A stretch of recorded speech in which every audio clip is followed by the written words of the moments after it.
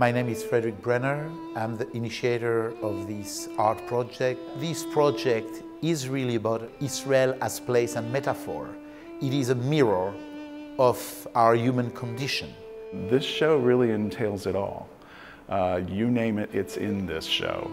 This place is a project which involves 12 artists. I established a list of the photographers who could really immerse for not a week, not a month, but up to six months.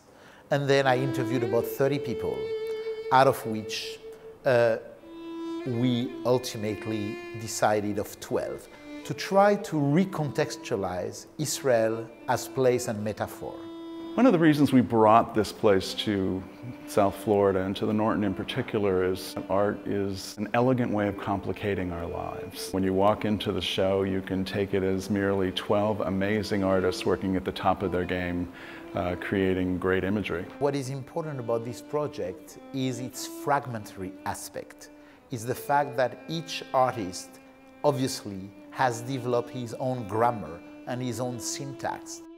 We were able to incorporate video interviews with each artist, kind of talking about their work and talking about their method, um, and in some way, again, again, reinforce that idea that these are very 12 very different people.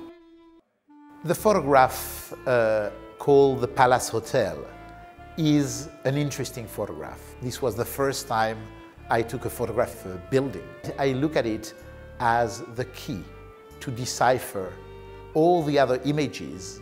There are certain items that I don't want to let go, and I'd really rather have them stay here. This is a difficult show to make that choice. I would keep the entire grid by Gilles Peress.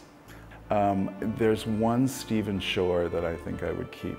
You first encounter it, it, it seems very quiet, very nondescript. It's actually a very simple photograph, but incredibly complex once you enter into it. In contrast, uh, you have Wendy Ewald. Wendy succeeds in getting children to photograph images that I would like to have made myself. And what is beautiful is that she dealt with the subconscious of the country.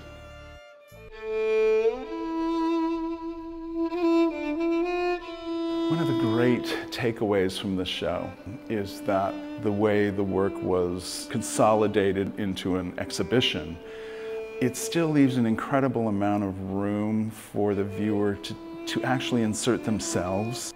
Each photograph gives the viewer enough space to start his or her own journey.